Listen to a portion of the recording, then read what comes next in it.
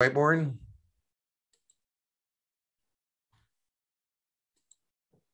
Yes, I can see it, Dan. Yep.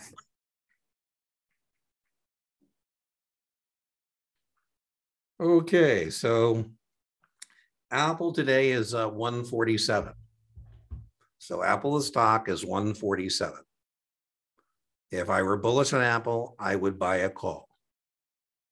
And if I was bearish on Apple, I would buy a put. But to be honest with you, I'm not sure whether Apple is going up or down. So, you know, if I was going to buy a call on Apple, I'd be buying upward volatility. I would be saying Apple is going to go up. It's going to go up at least by uh, the amount of my premium. You know, it's going to be strike price plus premium. And I'm saying it's going to take place between now and expiration. And if I bought a put, I'd be buying downward volatility. I'd be saying Apple's going to go down. It's going to go down by the amount of at least my premium to cover my out of pocket cost, break even, and I'm bearish. So if I'm doing a straddle, what I'm straddling is the strike price line. So, you know, straddle is when I'm long two different type of options or short two different type of option contracts. The option contracts, remember, are calls and puts. So to buy one Apple July 145 call at six. And I'm going to buy one Apple July 145 put at six. So test question number one is can you identify the multiple option strategy? So the first thing you gotta be able to do on the test is identify a straddle. If you can't identify it, you don't know what to do next. So even if that wasn't a test question, I just told you it is. Even if it wasn't, if you can't do that, you don't know what to do next. Long two different type of option contracts or short two different type of option contracts because we have long straddles and we have short straddles. The two types of contracts are calls and puts.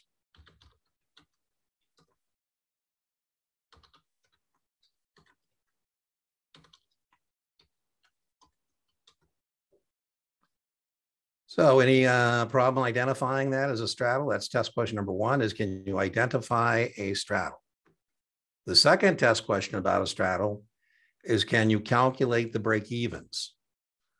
Can you calculate the break evens? This is the only one on the Series 7 that you have two break evens.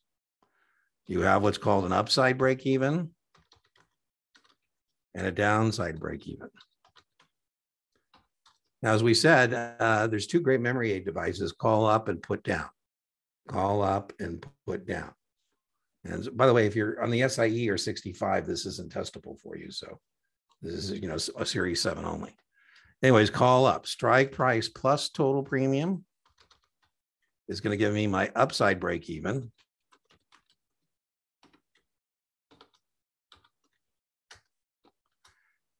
And strike price minus total premium is going to give me my downside break even.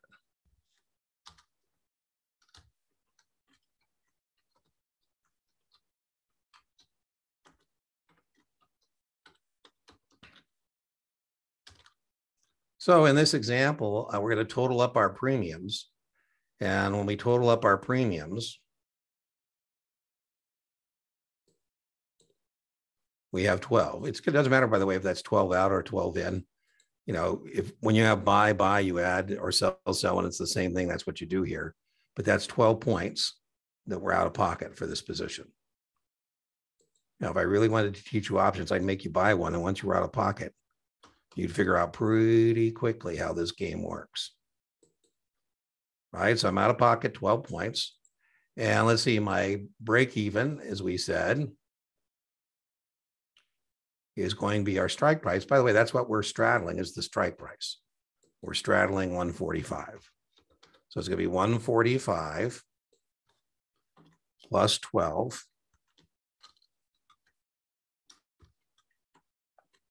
And uh, Brian was making fun of me on the live stream today, but I use my pre my calculator because I don't want to give up, you know, questions because I can't do arithmetic. So 145 plus 12 And I get my upside break even at 157. And then I'm going to take my 145. I got to cover my out of pocket cost. So I need to go up or down 12 points to cover my out of pocket cost. And again, I'm going to use my calculator. 145 minus 12 is 133. That's my downside break even. You know, if you were thinking about uh, some people are visual people, here is the price of Apple. As I said, we're straddling the strike price line. And the strike price is 145. And we said we're going to have our upside break even. And we're going to have our downside break even. And so our upside break even is 157. And our downside break even is 133. The uh, third test question, the third test question is where is the straddle profitable? Where is the straddle profitable? Where do we need the market price of Apple to be to make some money? Because nobody does things to break even. We're trying to make some money. Where is the straddle profitable? Now we have a great memory aid device here, and it's silo. And that stands for short inside, long outside. If it's a short straddle, we want the market price to be in between these two numbers. And if it's long, we want it outside these two numbers. So Silo is a great mnemonic device to remind us where we want straddles to be in relationship to the current market price. If we're short the straddle, we want the market price to be in between, short inside, long outside.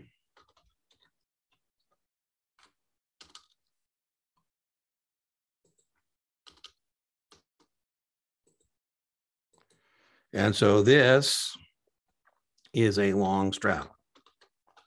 So test question, where do we want Apple to be in relationship to our break evens? We want Apple to be above 157 or below 133. That's where it's profitable. It's going to be in unprofitable in between 140, uh, 133 and 157 you know, the worst closing price at expiration uh, would be uh, 145. Uh, now, the short straddle would be the opposite. This is a long straddle. We're doing a short straddle. We would want Apple to be in between there. Short inside, long outside. So if I just change the buy buy to sell sell, it would be the same break even. It's just matter where you want it. So silo is a good way to remember that. And then the fourth test question about a straddle is when do you use a straddle? When do you deploy uh, this strategy. And you buy a straddle when you're expecting volatility, but direction is uncertain. So when do you use a straddle? And you buy a straddle, buy a straddle when directions uncertain. I just saw one today. I was gonna, you know, I was gonna make up a practice question for you. Uh, this is a, a good straddle setup. You know, this is one that speaks to me this company is in trouble this morning. I was reading, and they've hired a new CEO, and he's either going to fix their problems or he's not. They didn't quite say that. I mean, they, you know, the board hired him because they think he can fix the problems. But I'm thinking, well, maybe he can't. What do I care if he fixes the problems or he doesn't fix the problems? I don't think the stock is going to stay within the trading range, right? So I'm buying non-directional volatility. I buy a straddle when I expect volatility, but direction's uncertain. So as long as you know this guy does either he fix it and the stock goes up and my call comes through, or he doesn't fix it and my put comes through. I expect volatility, the direction is uncertain. And then uh, you actually sell a straddle when you expect a trading range, right? That's pretty seductive. I say, do you think Apple is going to stay between 133 and 157? If so, there's a way to profit from the stock staying within the trading range or being neutral. So you sell a straddle when you expect a trading range. Uh, chat is open. Can you see a problem with a short straddle? Or not? You're selling the volatility is what I'm going to get at. Anybody see a problem with that short straddle? Sure, Cynthia, we can certainly walk through that. Uh, anybody see a problem with short straddle? I would definitely know short straddles have unlimited risk. Short straddles have unlimited risk, right? This is a long straddle, but you know, short straddle, if I just change this.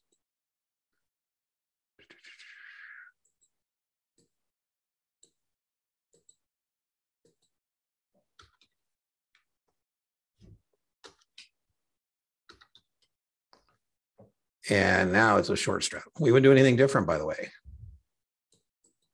We wouldn't do anything different. You tell me it's a short straddle, I could say sell short, right? Whatever. Uh, we calculate the break evens. We determine where it's profitable, short inside, long outside. This is neutral, Jacob, because I make money if Apple stays at 147. Right now, Apple's 147.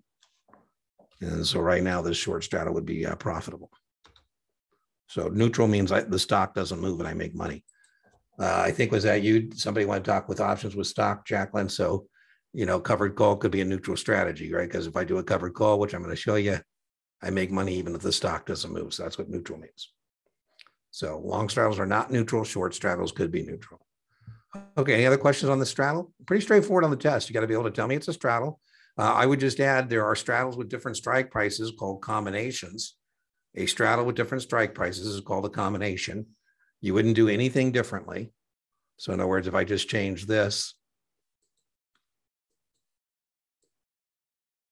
and now it's a 140 put, we wouldn't do anything differently. Uh, we would just combine the premiums, add it to the call, we subtract it from the put. So now it's going to be 140 minus 12, and that's called a combination. So the same four things, it's just called a combination. Okay, so let's do our next one. Our next one is uh, options led by the stock. I like that you said led by the stock because that's the key. The stock dominates. So if we uh, buy 100 shares of Apple uh, today at uh, 144 or 147, that's what Apple's at today. It doesn't matter what we do next. The stock dominates. So I'm about to add an option position to this. And it doesn't matter what option position I add to this. The stock always dominates. That means without it doing anything, you should be able to tell me that this is a bullish position. So as a test taker, the minute you see the shares, you got to say, oh, this is stock and stock dominates. This is a bullish position. Your point, it's led by the stock. And, you know, the other thing to kind of get down is if I bought the stock, which I've done here, and I'm gonna make a T. I like to use a T to track money in and out. If you can track money in and out, if you can track money in and out, and you are not fumbling around with contract specifications, you will get a hundred on options because there'd be no way to fool you. I mean, you can memorize things, that's fine. But you know, the more things you memorize, the you know, that's going to continue to compound on you. And then I like to, on my other side, say, okay, this is going to be dollars in. And some people like to think that as a credit. Some people like to think of that as a plus sign, you know, whatever floats your boat. Again, I did warn you, be a little careful that you don't have too many people, you know, in your head because you got to figure out what you're going to do. What is going to be your method uh, for solving, you know, option questions? I would tell you, I've helped thousands of people over many years pass their exam. So if you're not going to do it Dean's way, then, you know, just just warning you that I had a young lady. I we'll talk about willful. I mean, you got to admire her willfulness, but she said she had her own way to do options, her own method. I go, really? And you know, I said, well, it's not working because you keep getting these questions wrong. So, you know, if as long as your method's working, you're getting the right answer, then fine. But you know, if not, you might want to reconsider that. Now, the reason I want to show you the T is because you're interested in being able to do the offset. So what I mean by that is I bought the Apple at 147. I've done an opening purchase here. And so what I want to be able to do is offset. And what I mean by offset is by this, I can get a 50 50 because I know that I want to be able to sell the stock. that I bought. Right. So that means I'm going to have two option positions that are going to work here. I'm either going to go short a call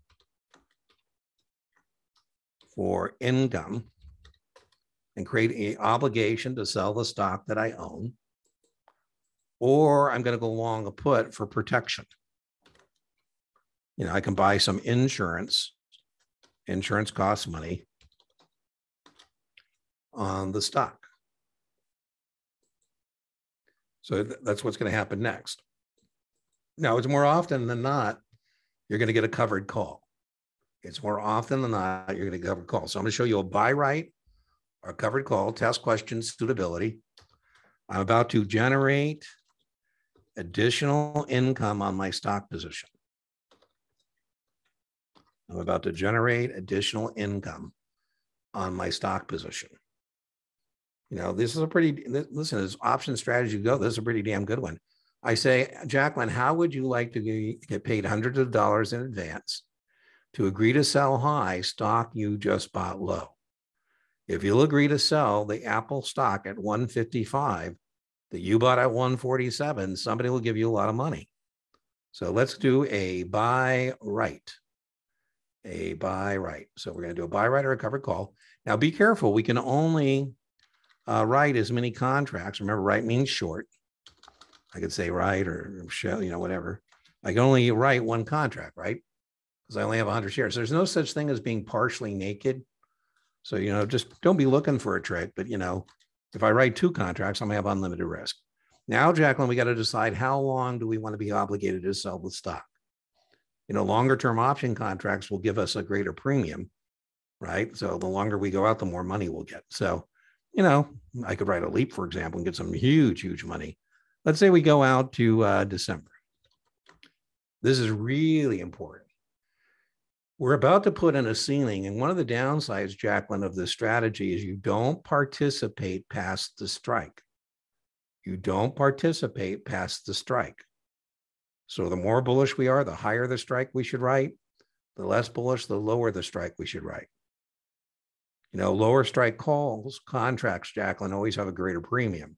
So we'll get more money for selling the 150s than we're going to get for the 155s. You know, so we're going to sell the uh, 155 call contract. And let's say we get uh, eight for that.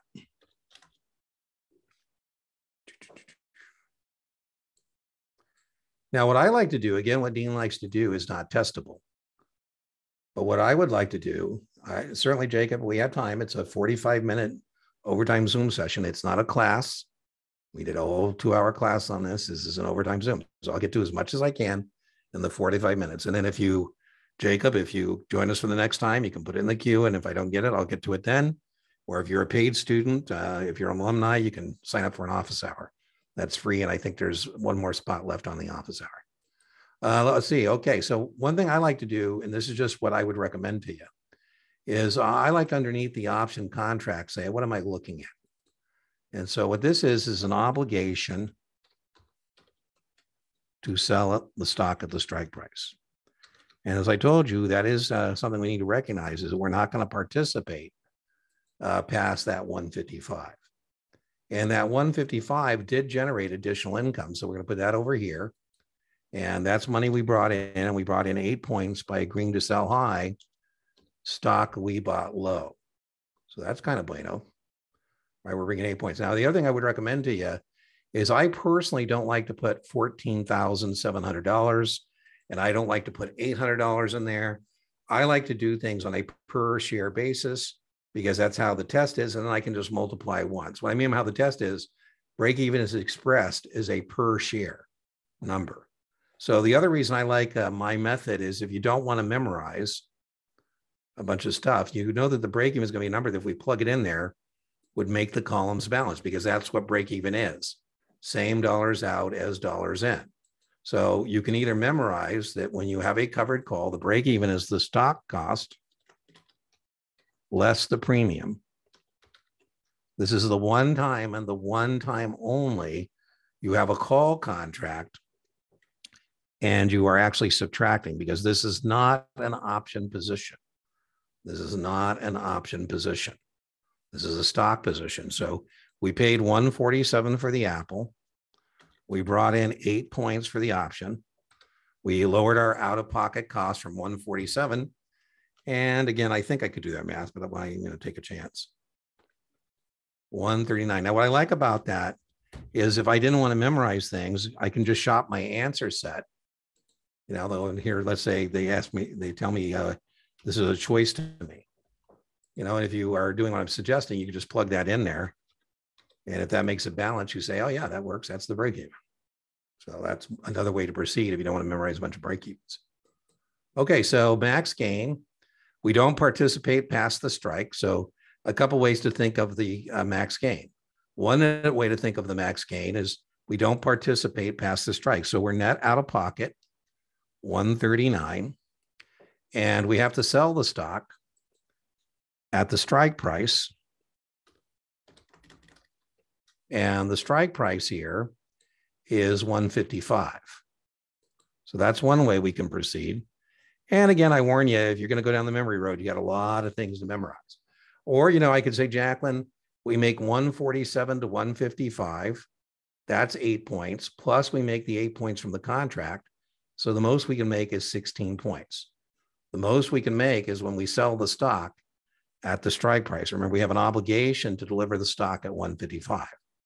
And again, another way you could proceed is by just plugging that in and then you can net the columns. So you can either memorize its break even to strike, or I can say, okay, well, when I net these two numbers, right? I'm out for the stock 147.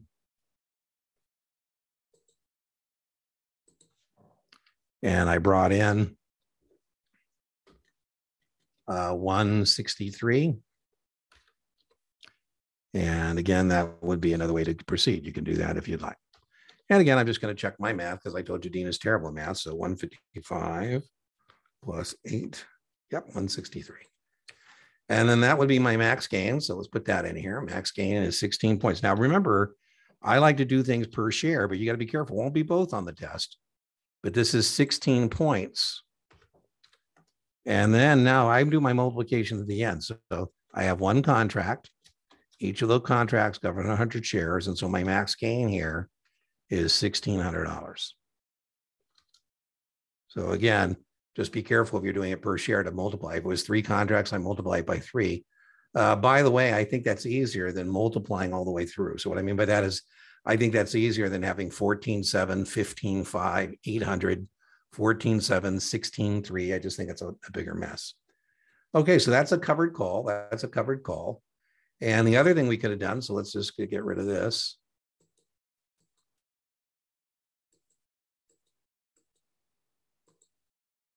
we said the other thing you can do is you could buy a put for protection. Uh, the covered call is more likely on your exam than is a uh, the long put. But uh, right now the floor is zero. The floor is zero.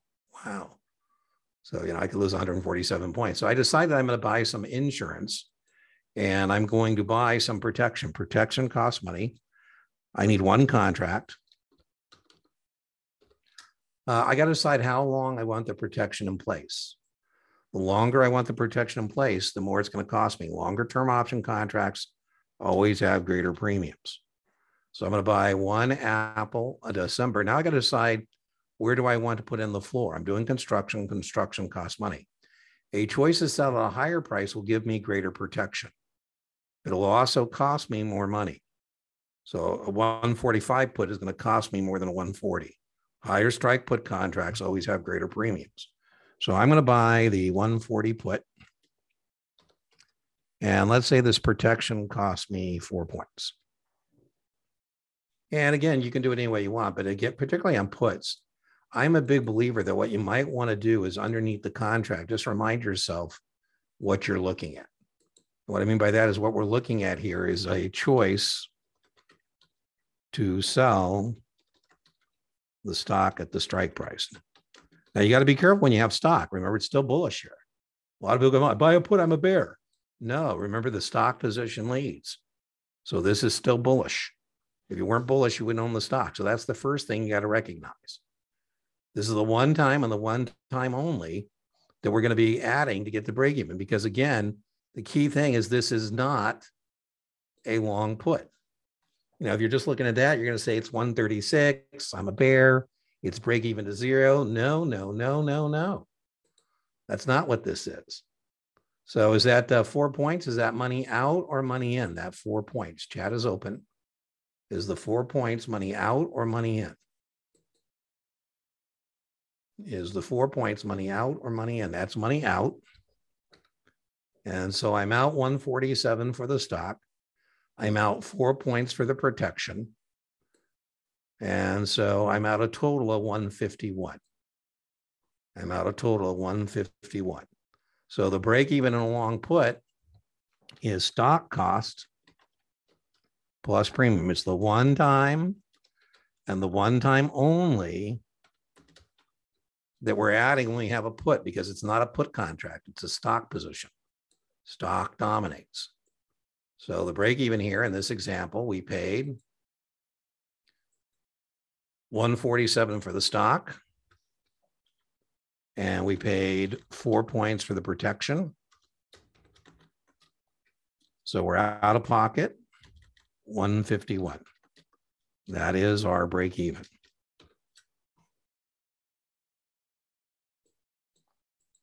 All right. So uh, again, if you don't want to memorize things, uh, I like the T because then you can just shop your answer set and you know that you need a number that if you plug it in there would make the columns balance, right? So if they offer me 151 as a break even, I plug that in. I say indeed. The break even is same dollars out as dollars in. Now, the reason you do this suitability test question, the reason you do this is to protect against a big price decline.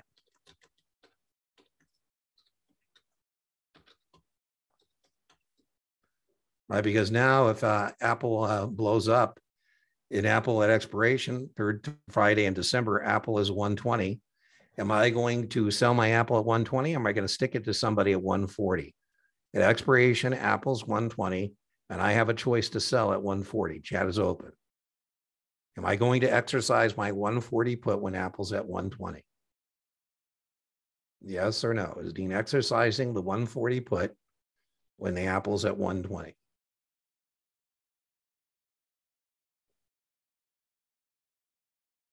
No, I'm going to exercise. I'm going to make somebody, I'm going to stick it to somebody at 140.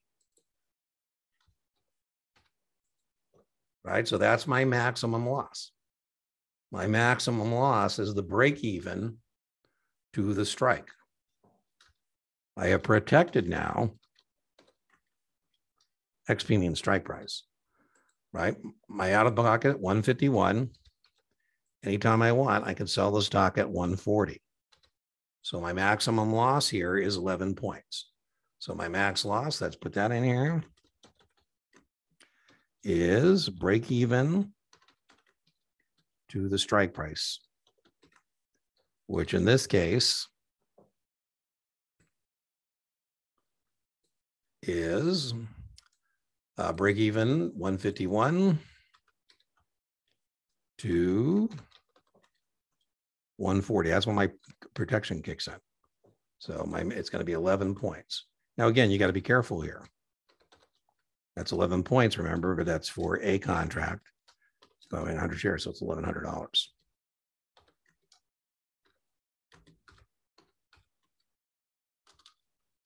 you know, the foundation of Mark Cuban's fortune is uh, selling broadcast.com to Yahoo for a billion dollars in Yahoo stock. And he was being asked about and during the dot com implosion why he, like other billionaires, didn't lose tons of money. And they said, uh, "What? Did, how come you didn't lose a bunch of money?" He said, "Well, I was hedged. I was hedged. I had puts. I own puts on my Yahoo stock, and I had the choice to sell at 85. And so at expiration, Yahoo was 20 and I exercised my puts at 85. So, you know, I didn't participate in that big price decline that everybody other in the dot com implosion participated because I was hedged. Now, by the way, that's this is a hedge. We call this one an effective hedge because it kind of works. And the covered call is called a uh, partial hedge, kind of works. You know, on the covered call, we're bringing in some money. All right, so let's see. Uh, a leap and a strip. Well, let's just go to the top. I think our next one was Madeline, the taxation on all products. Um, you know, we obviously in an overtime Zoom session don't have enough time to do that. I would do it in the products, but basically, you know, when you make an investment, so if I buy whatever I'm buying, let's just say I'm buying a thousand shares of Apple at uh, 147. You know, the cost basis is when I turn the money into the investment. So if I buy Apple at 147, my cost basis is 147 per share, or in total, $147,000. And then Madeline, I'm going to several, you know, later on, you know, I'm going to turn that back into money. Right. So my cost base is 147 per share or $147,000. And then later on, I'm going to have what are called sales proceeds. And so that means now I'm just simply what that means I'm turning the investment back into money. And I'm hoping that I got more money in than out. So let's say I sell my thousand shares. At uh, 167.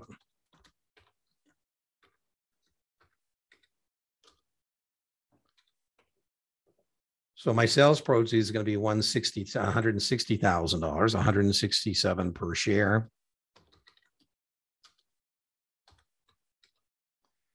And so I have a $20,000 capital gain. I owe capital gains on $20 per share are in total $20,000. Now, the next thing is how long did I have the Apple stock? Right? Because this is either going to be taxed at my ordinary income tax rate or it's going to be taxed as a long term capital gain, depending on how long I've owned it. So, how long do I have to be at risk in this Apple stock to qualify for a long-term capital gain. Now, listen, guys, if you don't participate in chat, I'm going to stop doing overtime Zoom sessions because I don't feel like spending 45 minutes doing tricks on a whiteboard with no interaction from you guys. So you need to get in gear and start participating in chat, or we will not be having any more overtime Zoom sessions. You can participate in chat or you can participate on muting, but you need to participate. Um, there you go. Thank you, Beth. More than a year. So if I'm at risk for more than a year, so now I give you a, a date. They're not. They're not going to make you, you know, have to do like a calendar. But let's say I did this uh, today. Today is February 28th,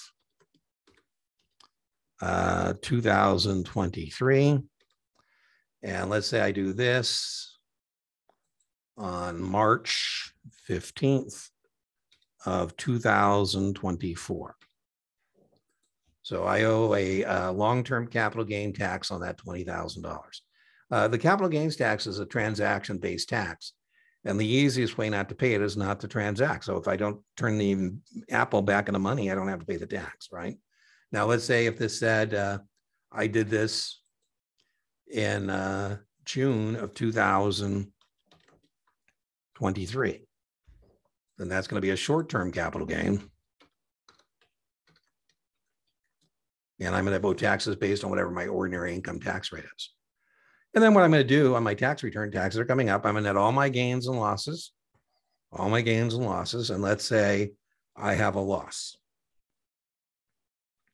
So how much of a loss from my portfolio? So, you know, we're talking about my portfolio. This is my investments you know, my portfolio or unearned income. And this is my paycheck. And how much can I uh, take from my portfolio losses to reduce my paycheck income on my tax return? What is the max I can take from here over to there? $3,000, very testable. $3,000, right? So if I made 95 grand, I can say I made 92 grand.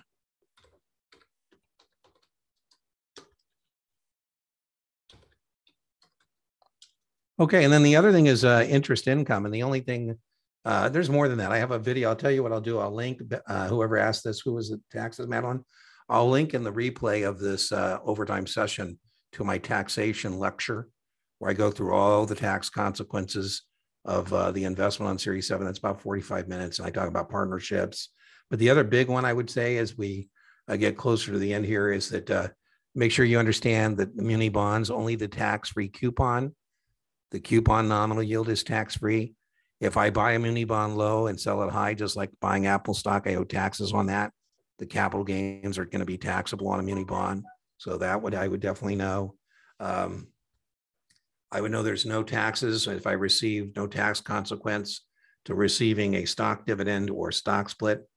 I just have to adjust my cost base. Don't overdose on taxes. If you tell me you missed the, the mark because of taxes, I'm going to say, well, most of the time we're supposed to tell people get an accountant. I'm not a tax person, but I'm supposed to have a general understanding of how investments impact somebody's tax return, right? So let's see. So taxation on all products, we did a couple there.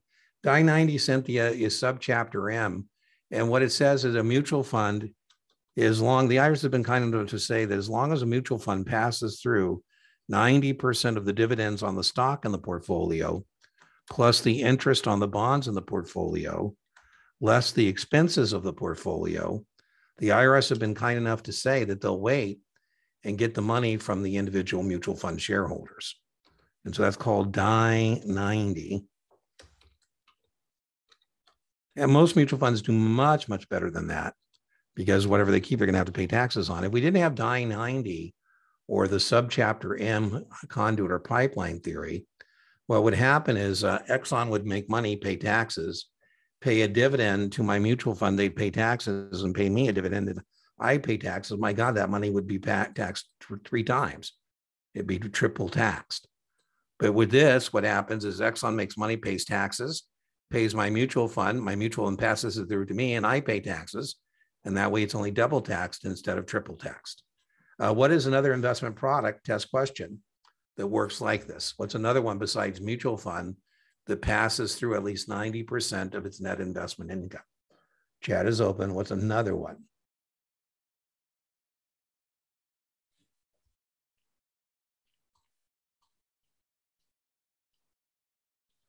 Yeah, REITs, very testable. And then a zero coupon bond, an OID originally issued at a discount bond. The IRS says there's imputed interest I'm receiving. And on the test, I'm not going to make you do this math. But, you know, uh, if I'm buying a zero coupon bond, I'll just make up some numbers here. And uh, let's say that at maturity, I'm getting par. And let's say I paid uh, originally, I bought it as a primary transaction for 500 and let's say that it has uh, 10 years to maturity.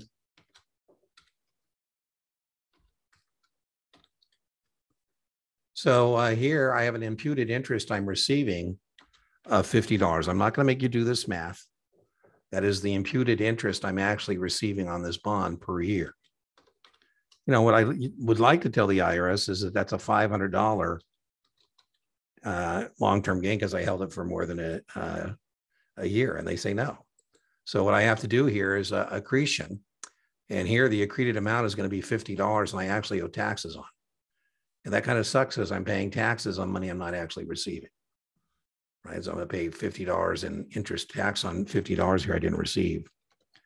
And that kind of sucks. That's called phantom income when you're paying taxes on money you're not actually receiving. Right. Okay. So let's see what else we got in here. Uh, it certainly does, Madeline. It certainly does. So that has that. It also has, we do this the other way on a muni, and it's called decretion. So when we buy a muni bond at a premium, we have to do decretion, go in the other direction. And that you might actually have to do practical application on. Uh, LEAP, Jacob, a LEAP, uh, you don't need it stands for long-term equity appreciation potential security. But the test question about a LEAP is that technically it goes out 39 months, in practice 30 months. Oh my goodness. Right. So if I buy a, a, Leap, I would have a choice to buy Apple for the next two and a half years. Uh, P.S. That would be the only option contract where I could possibly qualify for a long-term capital gain because it's the only option contract where I could be at risk for more than a year. Uh, I would expect, Jacob, a question about a Leap. Uh, I just gave you the yeah, Jacob. The strip, the strip is the same strip. Uh, uh, treasury receipts, zeros, OID. Those are all the same things intellectually on the test in terms of what we're tested on, They're all the same as it relates to the test. Now, if it's a muni, uh, muni zero, then that imputed interest would not be taxable. Okay, any last minute things here? Well, listen, I don't know if you're getting the evaluation that you get uh, off the Setmore, my booking page. You usually do, but uh, you know, I don't get to evaluate you guys. And I got to tell you, if we don't get more active in these 45 minutes with people participating, uh, I'm going to stop doing them. I'm not going to be doing tricks on a whiteboard if people aren't interacting in chat and, you know, uh, doing other things and watching me do tricks on the dry erase board. So, you know, uh, for what it's worth, uh, that's your warning that I wasn't very uh, impressed with the participation at the beginning of this uh, Zoom session. Anything else before we call it a day? Beth, the replays are posted on the YouTube home page. There's a home on the home page. There's a thing says join us for live Zoom class, and it's a playlist of all the replays. It has replays of coaching calls. It has replays of tutoring sessions, and it has replays of these overtime sessions. So as soon as we hang up, this will process and it will be up there shortly. Okay, Anything thank else? you. Yeah. Thank you. You're welcome. Anybody got anything else before we call it a night? Now, remember, there's no overtime session next Tuesday. Uh, my uh, family, I got some health issues in San Diego with the family I got to go check on. So I'm leaving soon as we done with the live stream. But there is one the following Tuesday, and that is up, and you can book that if you'd like. And then uh, I think it was who was it, Jacqueline and Erica. Make sure you have the Zoom invite because again, I'm going to get tighter on this stuff because we have a million five hundred thousand views and fourteen thousand subscribers, and I got to make sure that I'm not, you know, sending Zoom links, you know, to half a dozen people. So if you don't have the Zoom link, please make sure you check. And if you don't have it, you know, send me the email like you know that morning so I can manually put you in and send you that automated email with the link rather than me doing it manually. Anything else? Thank you. I appreciate it, Beth. You know, my dad Yeah. is kind of a, a you know, I, the problem with my dad is when he tells me he's not doing well, it's it's hard to tell. You know, I have to go physically see myself. You know what the state of affairs is. So, anything else? Yeah. Yeah, Dean, I had a question about Yeah, the public call. Yeah. Yeah, um, if, if, if you, if you write a covered call and then you write it out of the money. Whoa, whoa, whoa, whoa, whoa! You don't buy a covered